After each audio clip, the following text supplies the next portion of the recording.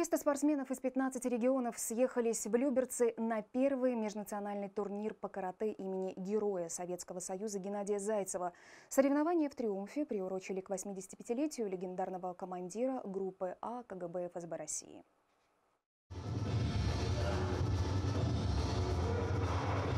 Зрелищное открытие турнира зрителям устроили специальные гости. Бойцы отряда специального назначения, спортивные клубы и кремлевский полк президента. Поучаствовали в церемонии и особо значимые персоны. Руководитель Национальной ассоциации карате, генералы спецподразделения, группы «Альфа» и, конечно, то, чьим именем назван турнир – Герой Советского Союза Геннадий Зайцев. Я желаю всем вам достойно выступить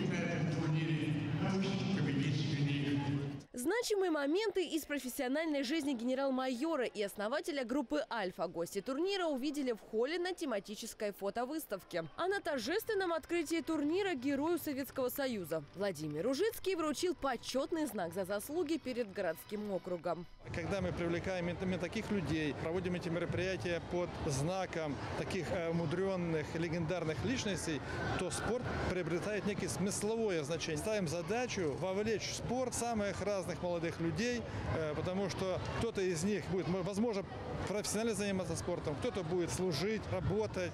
Глобальная цель межнационального турнира по карате – патриотическое воспитание молодого поколения. И кто, как не легендарный военнослужащий, подаст пример будущим защитникам Родины. Мы них вкладываем здесь фундамента 6 лет, чтобы они уже знали, впитывали как губку. Потому что э, нашим ребятам, я считаю, мое личное мнение, не до конца хватает вот э, патриотизм и гордость за тех людей. Геннадий Николаевич является основателем э, защитников специального подразделения. С удовольствием общается с детьми, проводит беседы с ними, Э, рассказывает о своих подвигах. И здесь он э, доступен, и любой ребенок может подойти, пообщаться и прикоснуться к нашей истории, живой истории. На соревнования съехались спортсмены из 15 регионов.